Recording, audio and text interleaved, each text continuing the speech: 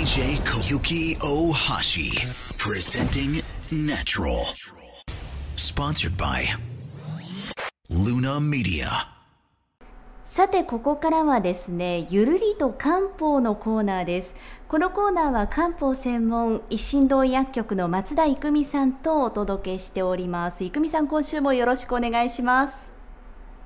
はい、よろしくお願いします。はいあのこの8月はですねちょっとリクエストコーナーとしまして皆さんのお悩み相談などに答えていこうじゃないかということに急遽させていただいたんですが郁美さん今週はですね、実はちょっと私が、はい、もう散々ラジオでも実は言ってきたんですけれどもジンマシンなのか湿疹なのかよくわからない皮膚の悩みに侵されていたんですね。なのでちょっとその辺の話を郁美さんにしていただきたいんですけれども、い、いでしょうか？はい。あ、はい、もちろんです。よろしくおはい願いします。それではよろしくお願いしますはい。ではですね、えっ、と、小雪さんもお悩みだったというジンマシンについて、えー今回は中学的に紐解いていきたいと思います。はいで、小雪さんはジンマシン、まあ、ジンマシンかね、指針かちょっとわからなかったっていうところですが、症状としてはどんな感じでした？症状としてはですね最初、えっとはい。突然痒くなったんですよ、えっと確か足のはい。一部だと思います、そしたらあれよはい。あれよで、足、はい。腕ほぼ全身かな？体はそうじゃなかったんですけど足と腕がもうとにかく痒い。でそれも、その痒かったり痒くなかったりっていうのをずっと繰り返してたんですけど最近やっと落ち着いたところで、なんだかんだで多分3週間ぐらいそういうのが続きましたね。ああ、そうなんですね。はい、やっぱりジンマシンはかゆみもあるので、うんちょっと辛いですよね。急にね、かゆくなったりとかも続きそますしね。う痛みも辛いんでしょうけどその寝てる時に訳も分からず痒くなって起きてしまって眠れないっていうのもなかなか本当にね、はいはい辛かったですこれは。そうですようね。うそんなジンマシンですが、はいえっと、まあ、どういったものかっていうことについて、はい、お話ししていきたいと思います。はいで、えっと、ジンマシンっていうのはですね、あの、皮膚の一部に少し膨らんだ発疹っていう、えっと、膨らんだ発疹なので、まあ、防疹って、あの、えー膨張するの棒ですね。防疹っていうふうな、に言われる病気になります。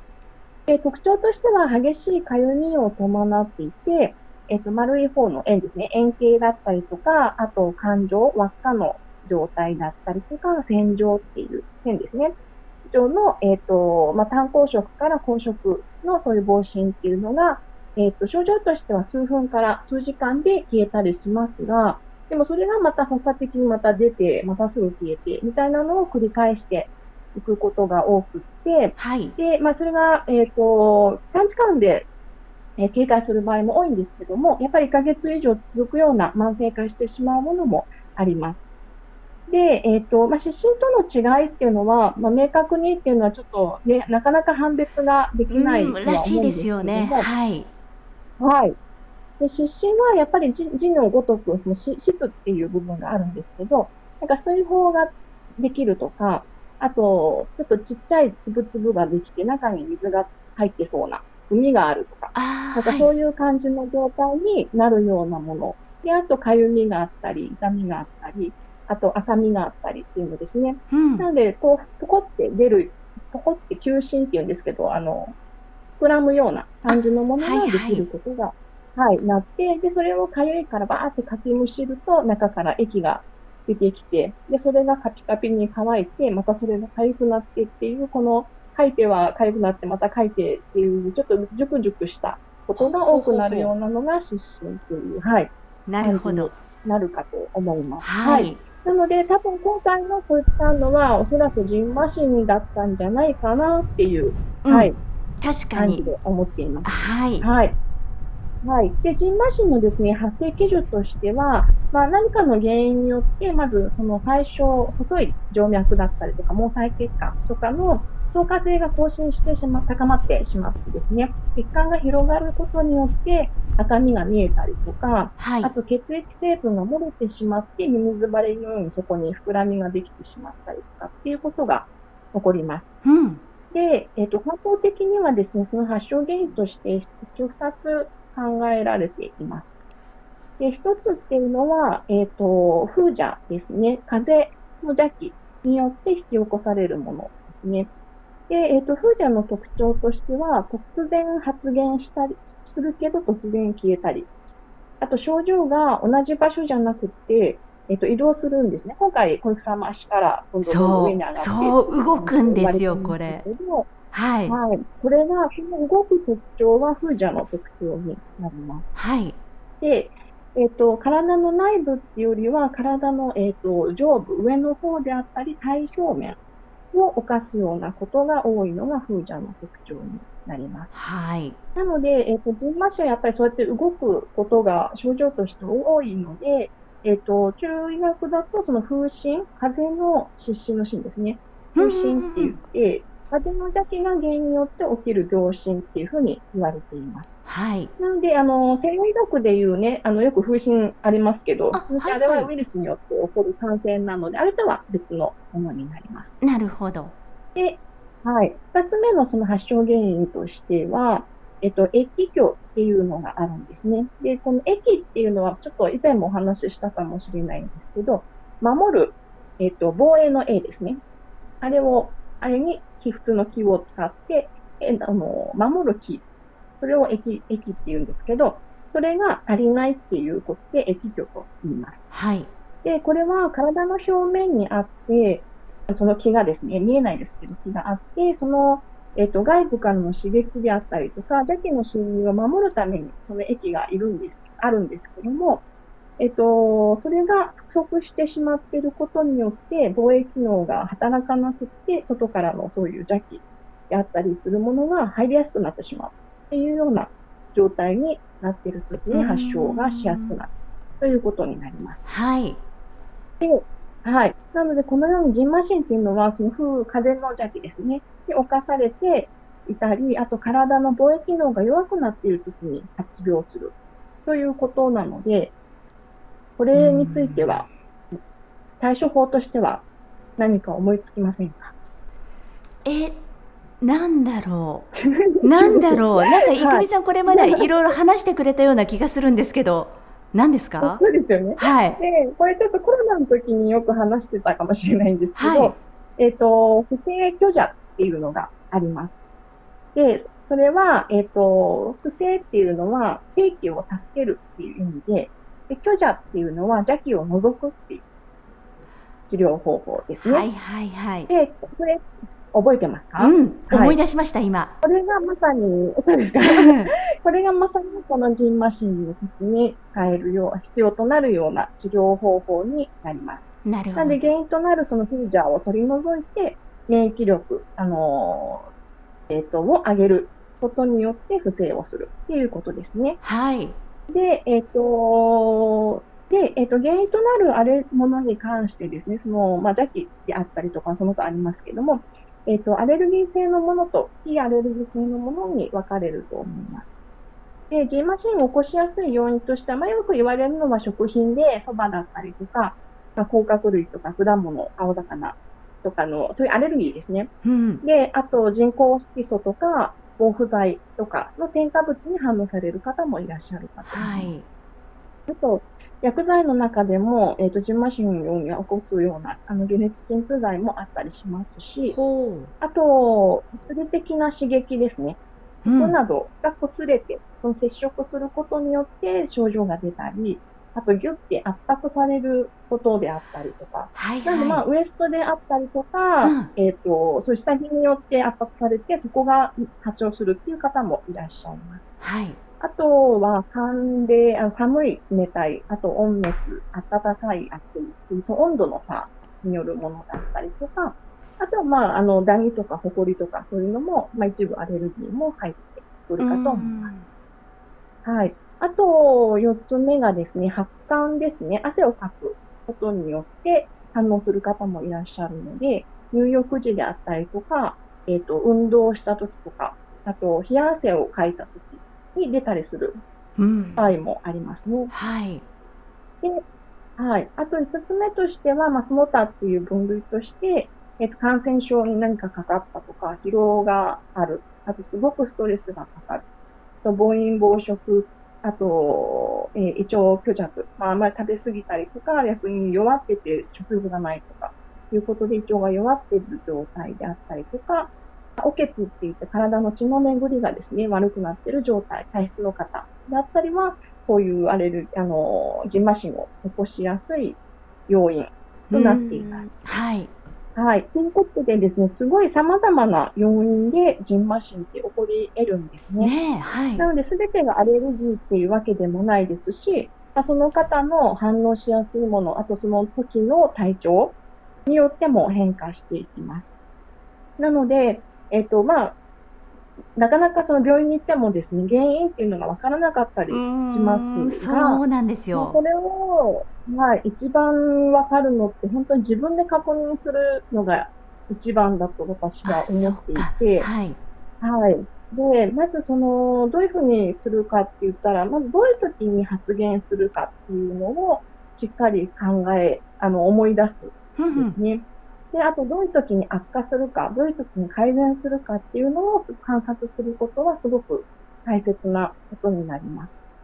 あと、その症状が出る前に、えっ、と、いつも何かやっていたこと、繰り返しやっていたことであったりとか、うんあと、先ほどの、えっ、と、項目の中にが何かそういう、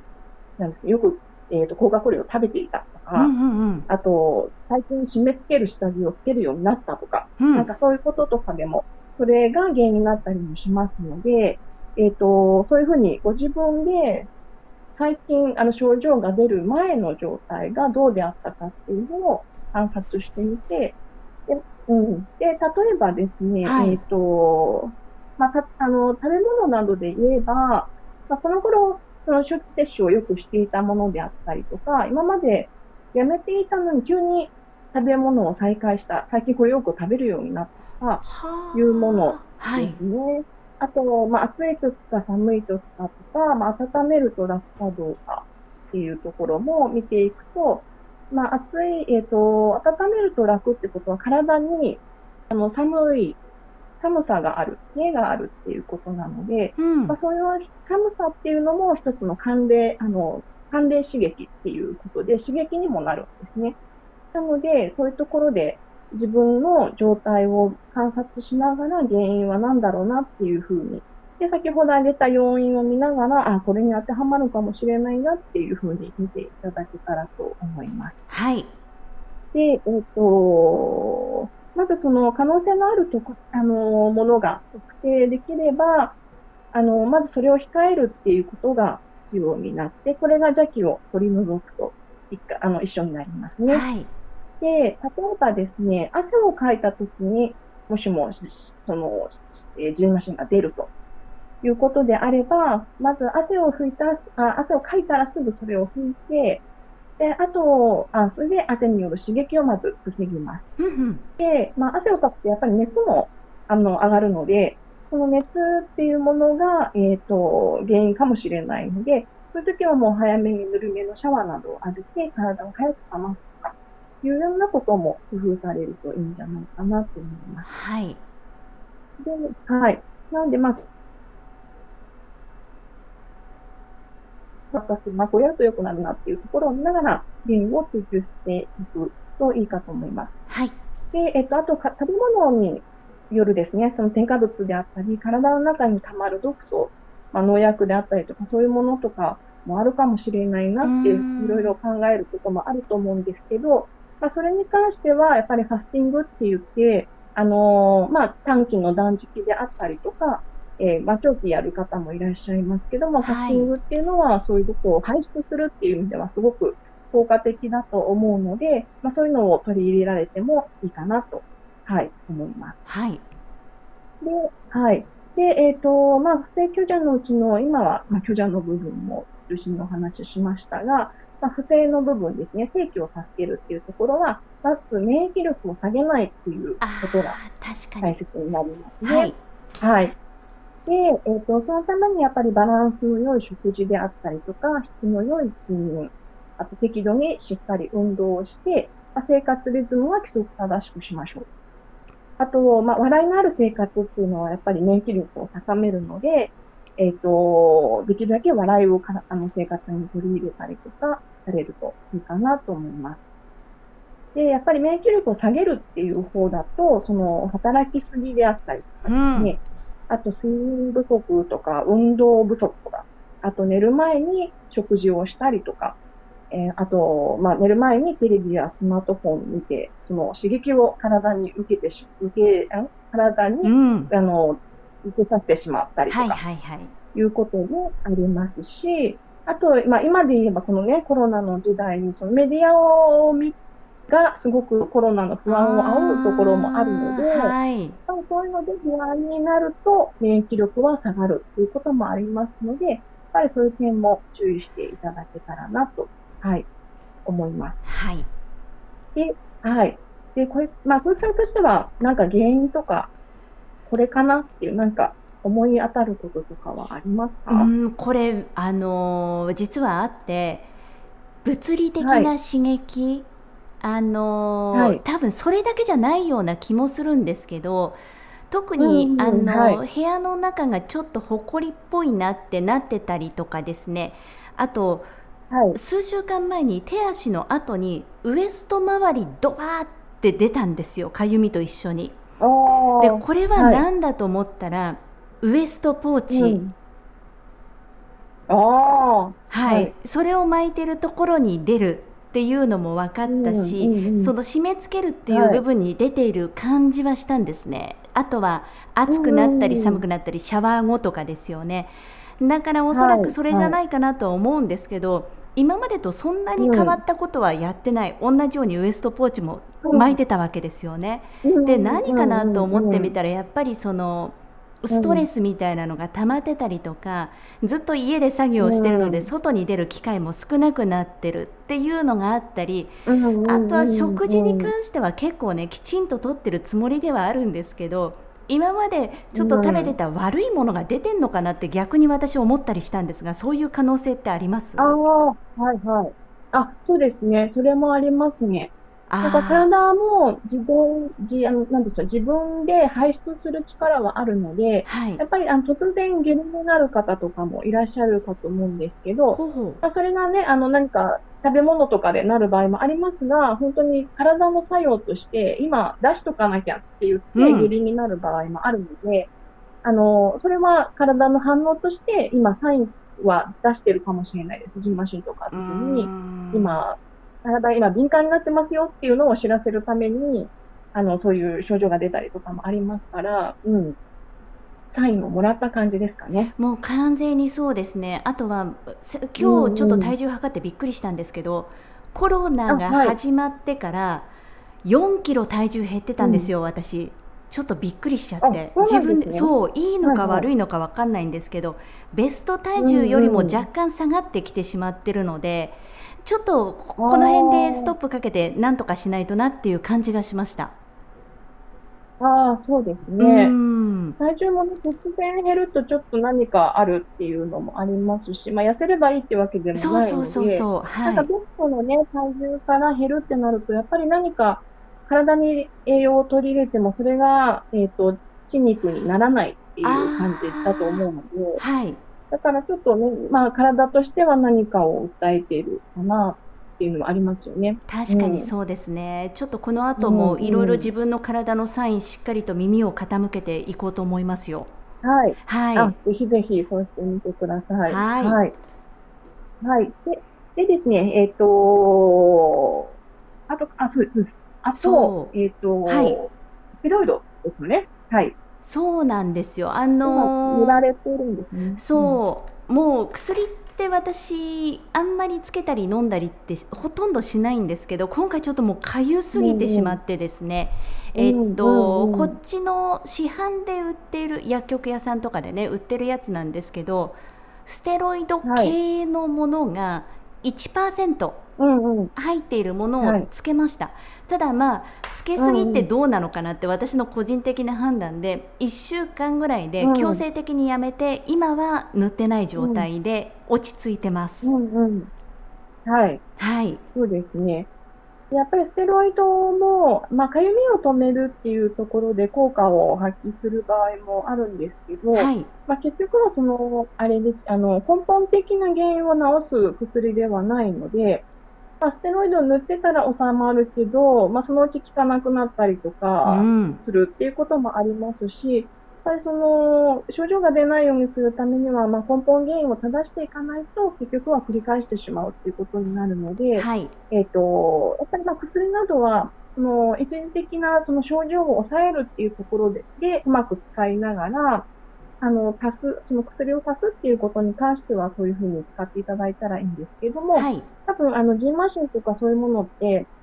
その体の反応、あの、サインとしての反応だと思う。今、ちょっとこういう、あまりいい状態じゃないですよ、みたいなところのサインだと思うので、何か取りすぎているものとか、やりすぎていることとかっていうものを、えっと、引く、マイナスの感覚で取られ、やられた方がいいんじゃないかなというふうに